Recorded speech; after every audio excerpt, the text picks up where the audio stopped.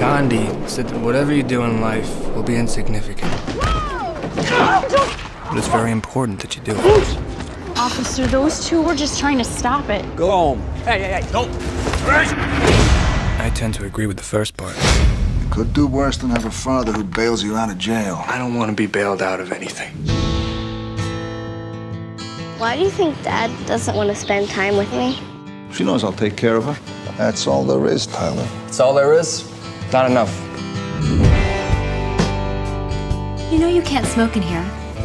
Why, why'd you have an ashtray? It's a bowl. It completes the room. I guess it was just here to tease me.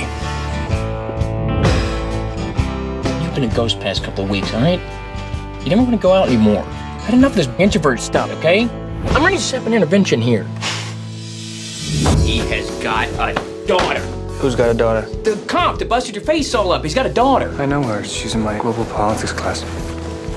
Go get her. I, I don't date sociology majors. Lucky for you, I'm I'm undecided. About what? Everything. What desserts do you have? I have my dessert first. What is that? This is our appetizer. That's why chicks dig you, man. They love this freaky poetic crap. Charles, it's your son. Yeah, I was wondering if you want to have dinner. How many?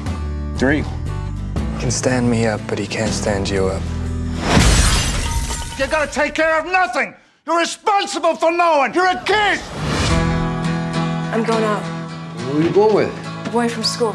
You're kind of lost, aren't you? You think you know me? You don't. My dad just doesn't know what's going on right now. What's going on right now?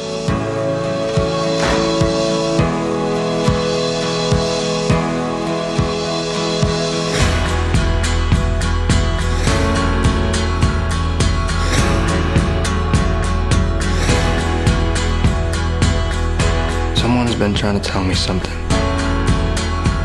Make it yours forever. And I'm working on the forever part.